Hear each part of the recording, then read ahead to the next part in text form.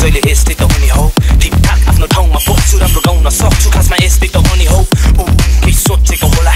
हामीलाई केही सोचेको होला अघि बढिसक्यो हेर खोटेको छोरा